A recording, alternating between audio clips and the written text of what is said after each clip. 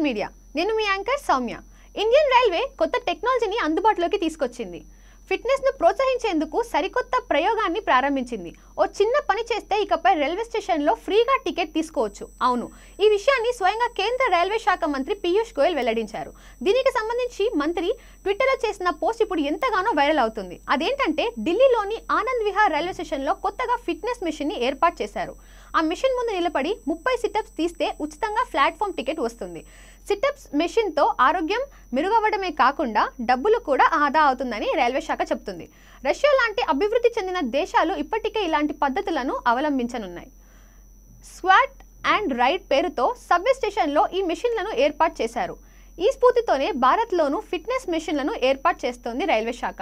త్వరలోనే దేశవ్యాప్తంగా వీటిని తీసుకురానున్నట్లు రైల్వే అధికారులు తెలిపారు.